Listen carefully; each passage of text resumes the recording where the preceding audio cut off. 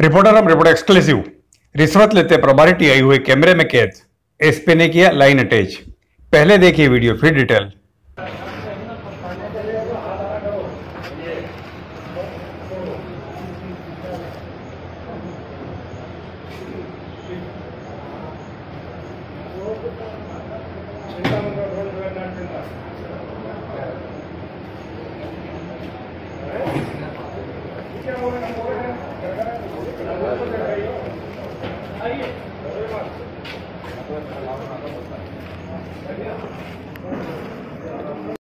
देखा आपने, मामला मध्य प्रदेश के सीहोर ज़िले के मंडी थाने का है, जहाँ प्रभारी टीआई हरि सिंह परमार इस तरह खुलेआम रिश्वत लेते, जागरूक नागरिक के मोबाइल कैमरे में कैद हुए।